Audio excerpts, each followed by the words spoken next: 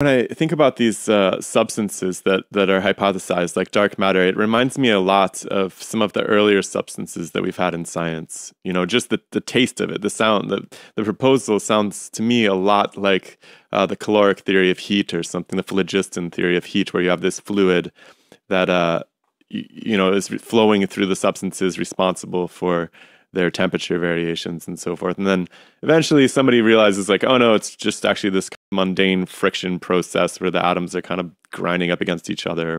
And, uh, you know, what's funny about that story is that once again, kind of like with the Ptolemaic system we were discussing, uh, the mathematics for the flow of this fluid work perfectly. It's a fantastically predictive model of heat transfer to treat it like a fluid, right? To treat it like this kind of dark heat matter stuff.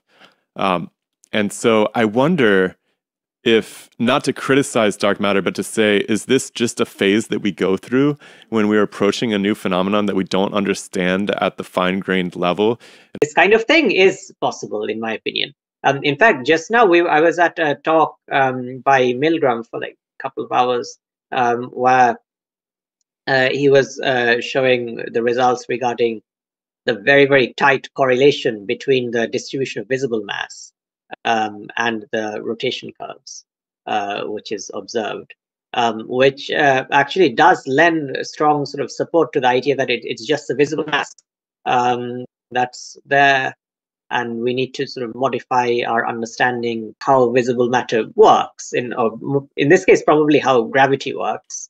Um, but certainly how some aspect of how matter organizes itself on sort of kiloparsec scales